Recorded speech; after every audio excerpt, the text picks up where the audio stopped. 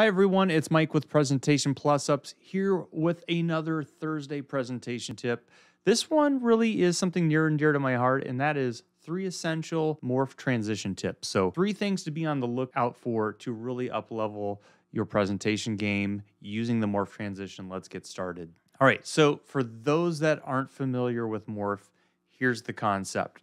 And I'm going to peel back this overall slide deck and show you what I mean. So, I'm going to unpack it under the transitions menu, and I'll go ahead and pin this for you. After the none transition is morph, and this is the secret weapon of PowerPoint is that you can keep objects, and by objects I mean shapes. For example, here's a back shape, here's text, here's images, and you can have these items persist from, let's say, slide four to slide five and change their properties.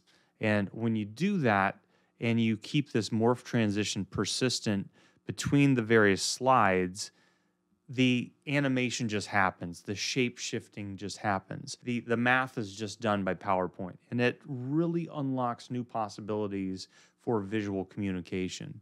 And not just for entertainment's sake but really to help you highlight information. So that would be one essential thing i'd say is be on the lookout for that. And in this little workshop, I'm going to show you how we are using these three shapes. So for example, let's just start here with my slide four, and I am going to put on the selection pane. And if you've seen me do a couple of these in the past, you'll know that I am a major advocate of this selection pane. This allows you to show and hide different assets, different objects on your slides and also rearrange them all around your slides. This also is essential to keep all this nice animation nice and clean for you when you're working on duplicating your slides and rearranging objects. So if we look at this slide and we mentioned that we can do some things. So one of the things I really like to do on this tip is shape shift shapes. So this is just a rectangle shape. So this is not an image. This has been done with something as mundane as going up to your shapes, dropping in a shape, and giving it a format, a look. So if I go, okay, I like this color, hit the format painter and go ahead and select it there, we've got a shape, okay? So if I've got a shape from one slide, I copy that and paste to the next slide and just move it, just like a piece of taffy here. If we put this in presentation mode, you're gonna see that shape will shape shift, okay?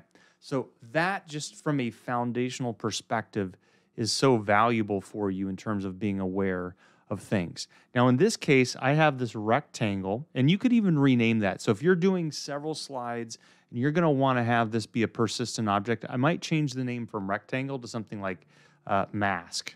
Okay, so if this is a mask or a texture, you'd give it that name.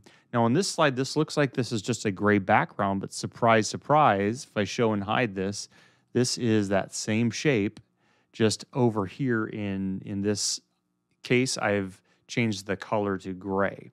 So if we look at that one piece alone and we go back into presentation mode and hit the forward button, you're going to see immediately you get a lot of bang for your buck in terms of that ability to liquefy your slides and have these persistent objects shapeshift and do a lot of work for you.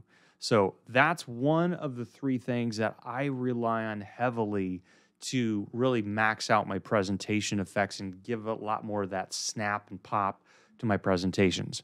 Now, let's take a look at another item. So in this case, if we go up here to my slide four, and again, I'm just using slide four and five as my examples, you're going to notice we have a text box here, and I'll just go ahead and show and hide that for you with the number three. Now, I want you to notice if I select this text box, this is currently at a Helvetica Neue Standard Light. So that's a thin font. Now, that same three over here is blue, and it's now at a medium font and it's much thicker. So, again, as long as that object is identical, so I haven't changed it to a different, um, I haven't changed any keystrokes on it.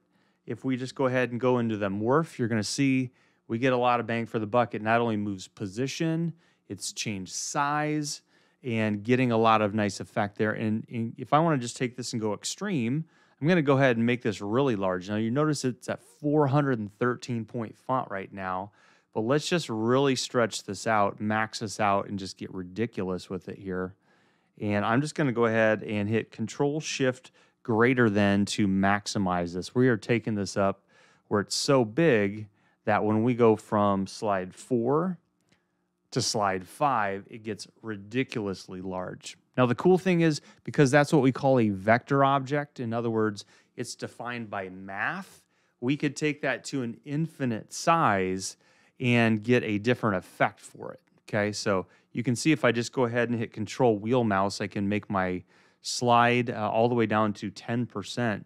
So I can see the slide is super small, but you almost get, uh, if you've ever seen Prezi, you, you get that type of effect to it. And you could even potentially shift it off off camera here. We can even select that, that text.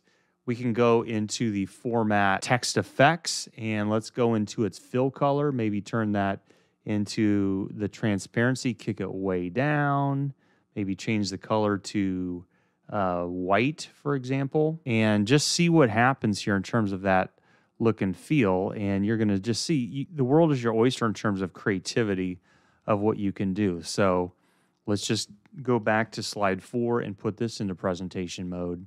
And you're going to see you can do some really cool stuff. So again, it's so contextual based on what you're doing. But I want you to know you can stretch the boundaries of what you think is possible with morph. So we've talked text, we've talked shapes. What I would encourage you to do is when it comes to images, I'm going to take this image you're going to notice right now it's currently the second lowest element on our layer hierarchy. And I'm going to take this shape, I'm going to hit copy on it, control C. I'm going to bring it over here and I'm going to make my presentation plus ups logo really big. I'm going to put it right in the middle, which seems like insanity. But on the selection pane, I'm going to drag that down again to where it's the second lowest object to keep that layer hierarchy consistent. What I'm going to do is I'm going to right click it. I'm going to go down to format picture. And when I go into the picture selection and go to transparency, I'm going to turn that all the way to 100% transparent. And you're going to see you can get some cool effects with images by just changing that transparency as well. So, so many cool things you can do in terms of three different objects. For me, it's shapes, it's text, and it's images. With those three things alone, the world is your oyster in terms of what you want to do. And here's a perfect example. If we go to my ending here for you, is we've got a shape on here. So let's just back this up. It's gone transparent. We're bringing it back and it sneaks back on screen. And then we have another shape whip over that's asking you to like, to subscribe, to tell a friend, hit the notifications button. But you can see you can get so much done, make your presentations just not feel like a document. It feels like a living organism by using these features. So that's it for today. Hopefully you've liked this low fidelity how-to video. Post your comments below. Let me know what you think. If there's something else that you want a little secret sauce on when it comes to presentation tips and techniques, let me know. I'm here to serve you. In the meantime, thanks so much and please make it a great day.